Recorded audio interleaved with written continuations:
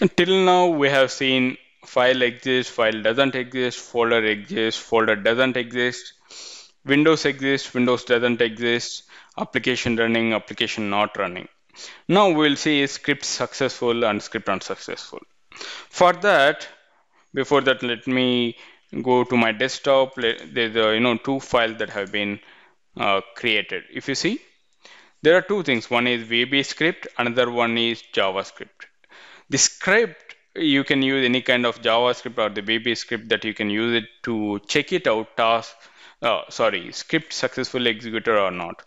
So let me explain you what are the things that I have done for the JavaScript. Let me go ahead, let me open hello world. It's a simple thing that script document.get element ID demo inner dot html equal to hello world that I have given a simple thing.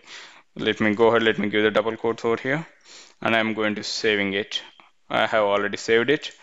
In the same way, by using VB script also, I have done the same hello world. Okay, uh, if you want to see message box hello world that have been shown by using VB script. It's not a big one. Okay, just to display on the screen kind of thing. Okay, these are the two things that which we have, which I have already created.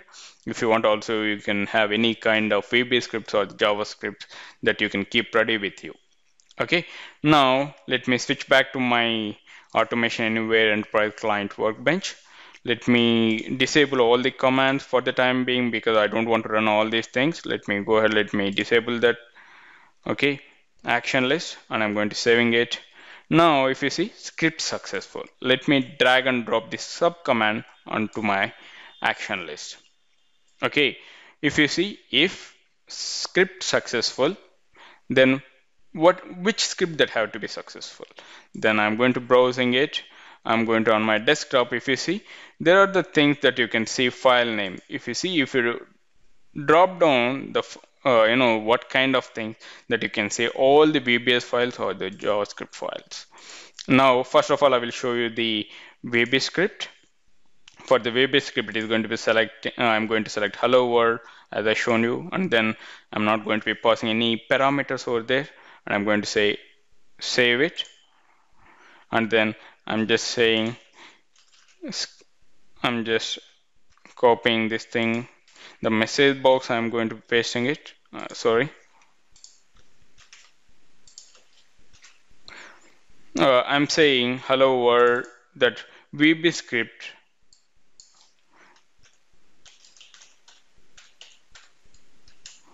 Executed successfully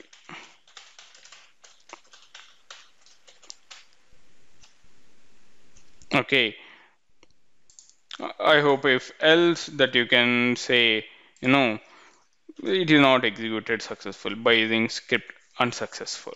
I'm going to save it saving the action list and then I'm going to running it.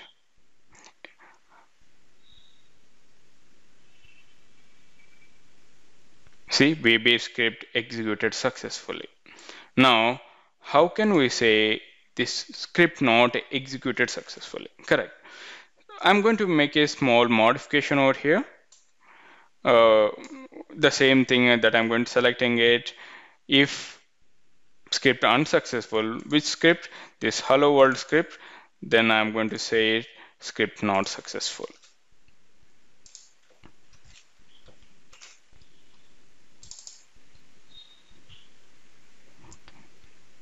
Not executed successfully. I'm going to save it. I'm just going to make a small uh, error over here into the in the particular script. What is the error that I'm going to modifying anything like that VB script correct? Now let me go ahead, let me edit it. And I'm saying some message box or some one value or something that I'm going to put it over here or before hello world I'm going to make it. I'm going to save this script. Let me go back to my automation anywhere. Let me run this one. Now if you see there is error in the script. 1006 expected. There's an error. So I hope we have modified that. We have observed it. That's the reason it is showing as an error right it is showing an error over there that's the reason uh, we can see script successful or script unsuccessful by using this thing. In the same way, what we are going to do, I'm going to use the script successful, another one for the JavaScript. Let me go ahead, let me show you the JavaScript also. You can see JavaScript files. Let me select that hello world and I'm going to say save it. Now what I'm going to do, uh, I'm keeping the same thing over here. I'm not commenting, uh, disabling the previous commands that you can see. Okay, this is the same errors that we can see. I have not given any kind of messages over here. Let me go ahead, let me give the messages also. I have not pasted any messages box over here. JavaScript executed successfully. If there is any errors, then automatically it will show there is an error, right? Now let me go ahead, let me run it. I hope there is an error in the hello world.js, but the context is the same that you know you want to check it out. If there is any VB script not executed successfully this is the line number. And okay there is an error in the javascript that's the reason it is not showing over here. But the context is the same that you want to uh, execute the script is successful or not. If you want to check it out you can go ahead and you can check it out the script by using script successful subcommand or script unsuccessful subcommands. Okay I hope you understand it. Let me go ahead, let me disable it. Now we'll see about the task. Task successful or unsuccessful. What is the task successful or unsuccessful? Performs an action based whether the task ran successfully or not. Using this condition, you can run several task logics or metabot logics, ensuring that each task runs successfully if the PS was successful. So what is the task that before going to be doing these things, what are the tasks that you can go ahead and you can do that? Where I can find this task? Okay, let me go to Automation Anywhere Enterprise client. You can see these are all the tasks. Okay, now uh, you know this task has been successfully uh, completed or not. This task has been uh, successful or not. You can you want to check it out. That based on that you can go ahead and you can check it out first of all, let me go ahead, let me locate which location that you have. Let me copy this.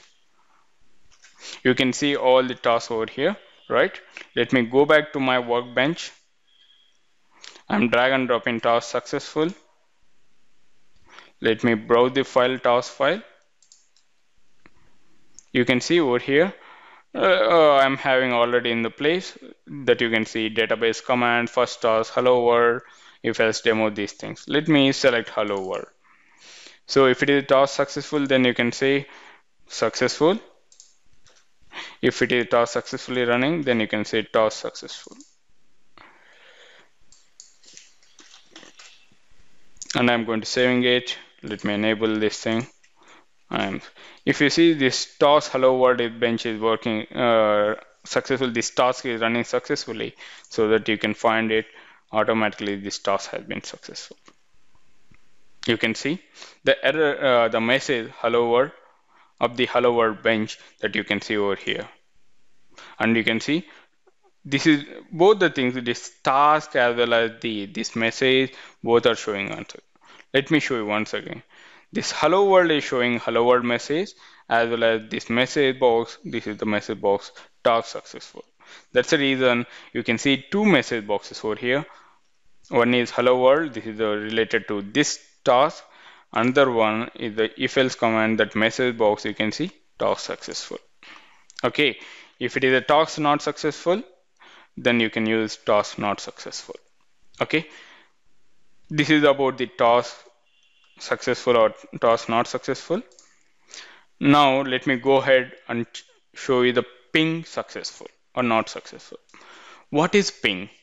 So if you see there's the remote machines or machines or the servers, you want to check it out, this is successfully working or not, then you can go ahead and you can say that. Where I can see these pings, I'm going for the command or the particular system that I'm going for the IP config. So you can find the particular IP of the particular system, right? Now my system is 192.168.1.3 1.6 that IP space on the IP that we are checking out. So this is nothing but ping. Pinging of, you can see the ping of 192.168.1.6. These are the commands that you're going to be using that you know it is listening properly. Now you can see this is replying back that the main it is working fine because of this is my local system. If I'm going for the ping, I'm using some other 192.168.1.7 because that IP doesn't exist so that it is taking time and it is not replying that saying a destination unreachable or something and that's the reason it is failing. The same thing that I'm going to give it over here that you want to check it out ping successful or not. Okay, I hope you're getting it. This ping is the option that you want to check it out the remote uh, system or the remote machine, remote server is working fine or not. Now let me, uh, one second, let me go ahead, let me disable all the things.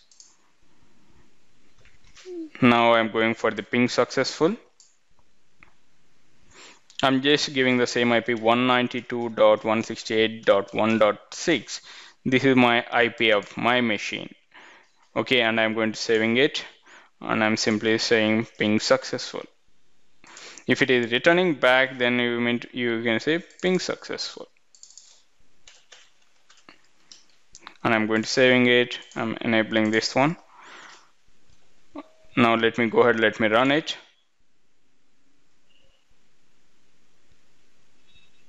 So you can see ping successfully. Okay, it is the main, it is able to connect to this IP. Now let me show you ping unsuccessfully. I'm just giving some IP which doesn't exist 192.168.1.7 which, which is not connected. Let me give a message over here message box ping not successful.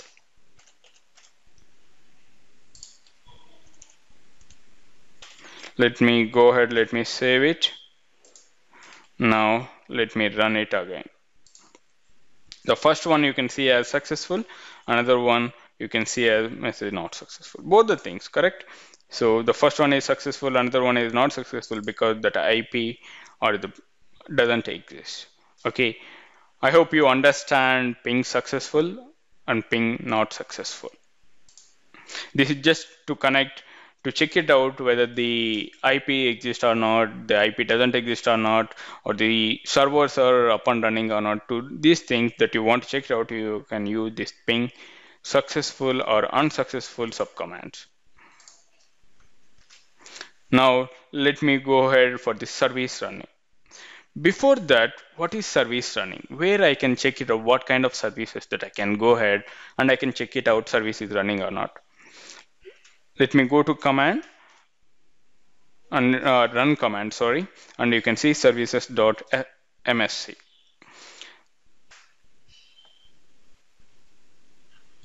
So you can see there's a lot of services. You can see, sorry, all these things. You can see the status as running or not, the status is these things running or not you can see all these things correct? These are the things that you can check it out service is running or not. Let me go ahead let me drag and drop this service running. You can see select service over here. You can see all the services what are the services that you have. Now we will take one of the best one over here I don't want to mess up with any kind of thing application identity. Let me check it out application identity.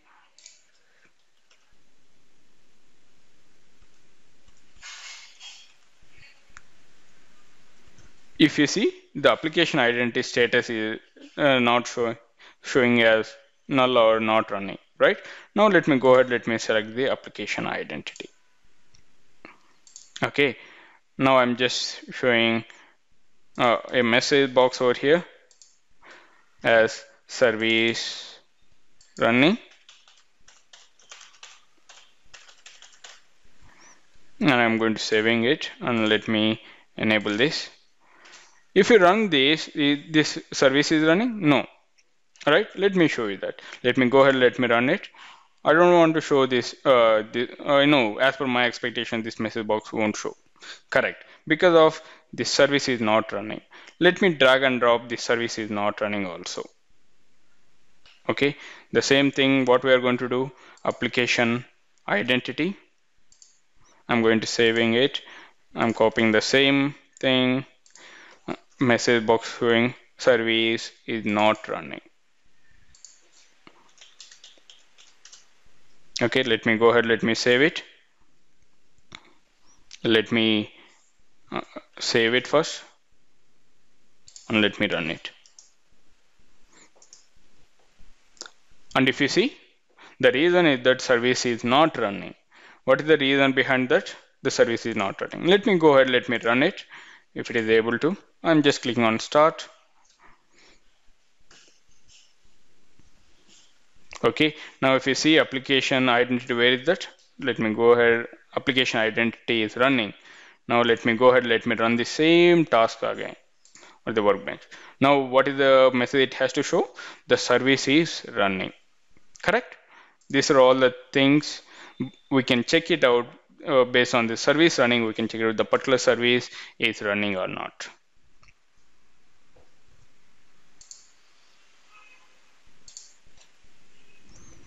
In the next session, we will see the remaining subcommands like variable, file size, file date, web control, image recognition, Windows control, else if, else, end if commands. These are all the subcommands we will see in the next session. Thank you for watching Automation Anywhere RPA tutorials. If you have any queries related to this topic, please post them in the comment section. Till then, bye-bye. We'll see you in the next session.